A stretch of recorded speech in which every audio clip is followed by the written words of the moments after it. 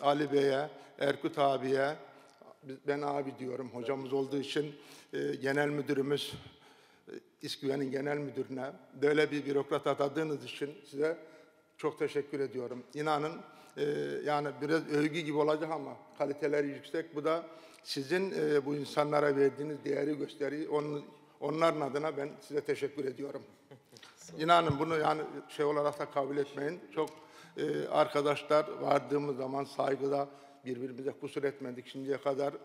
E, nasıl gerekiyorsa bizim adımıza işçilerle nasıl şey olacaksa e, sizin talimatınızı uygulayarak bizleri en iyi şekilde ağırladılar. En iyi şekilde de sözleşme yaptık.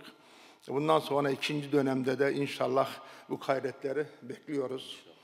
Ee, ayrıca Mahmut Bey'in çok selam var. Bir başka programı vardı. Ondan dolayı da gelemedi. Özür diledi. E, Benim adıma dedi. Başkanıma çok selam söyle dedi. Ee, ben çok teşekkür ediyorum. Allah sizden razı olsun. Her zaman e, bu şeyde, süreçte yalnızlaştırmadınız bizi, öteleştirmediniz işçiler adına. İnanın çok memnunuz. İşçiler de memnun. Onun için de ayrıca teşekkür ediyorum sevgili başkanım. Çok teşekkür ederiz efendim Sayın Ömer Yılmaz Başkanımıza ve şahsında tüm hak iş temsilcilerine. Değerli katılımcılar biliyorsunuz 100. yılındayız. Cumhuriyetimizin üzerin, kuruluşunun üzerinden tam 100 yıl geçti.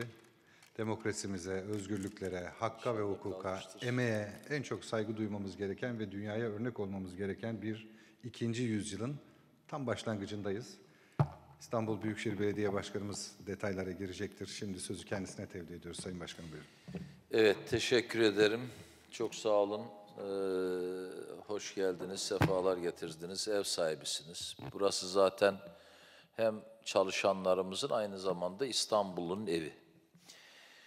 Ee, insanlar eşitliğin, adaletin olmadığı yerde huzur bulamaz. Ee, adalet hani e, devletin esasıdır, e, hatta dinidir der ya e, Hazreti Ali. Dolayısıyla e, çok önemli yani hava su gibi bir şey. Adil olmayan bir ortamda hiç kimsenin huzuru bulması mümkün değil. Bir evin içinde bile. Hani bazen evin içinde kurallar vardır.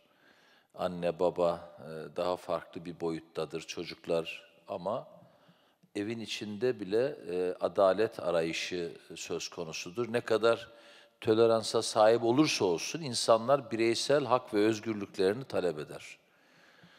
E, o bakımdan memleketimizin e, adalet konusunda e, hiçbir yoksunluk yaşamamasını diliyorum. İnsanların e, hem adalet duygusuyla var olduğu kadar bir de bugün arzu ettiğimiz yönetim biçiminde milli irade diye tariflediğimiz bir başka boyutu var. Yani yönetme biçimi e, bakımından insanlarımız kendisini yönetecek insanları seçerler.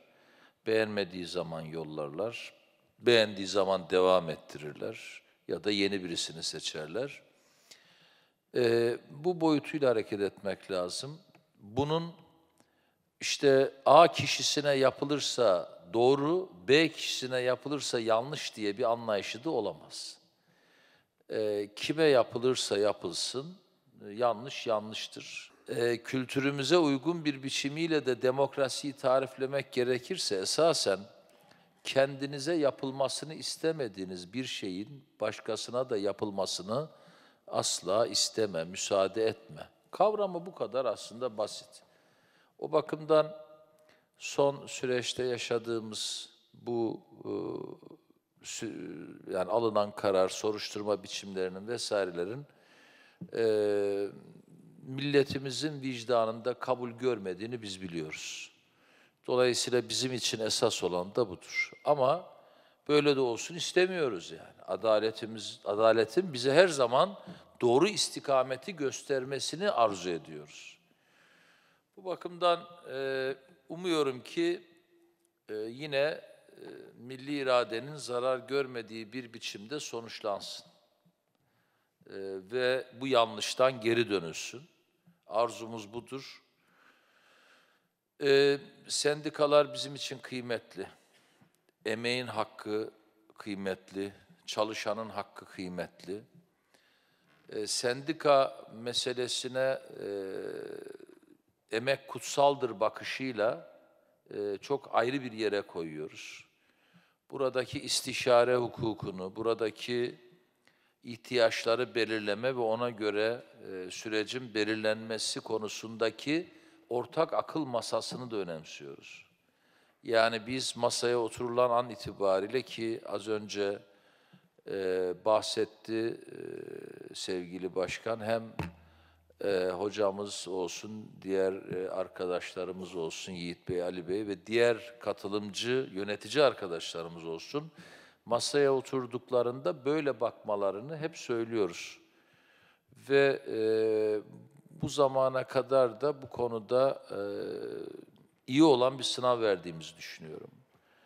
E, Artı orada e, hak eden kim ise o yoluna devam etmelidir. İyi olan zaten kendini yani kimseyi bir baskıcı atmosfere sokmadan iyi olan, kendini orada ispat eden, ikna edenin yolu açık olsun. Yani baktığımız mesele budur. Ee, Türkiye'de sendikalaşma, sendikaya bakış, sendikacılık meselesinin e, de ciddi bir revizyona ihtiyaç duyduğunu düşünenlerdenim. Yani bu alana biraz kafa yormuş bir insan olarak daha yenilikçi, daha farklı. Neticede ihtiyaçlar değişiyor, toplum değişiyor, yeni neslin bakışı değişiyor. 21. yüzyılda sendikacılık nasıl olmalı?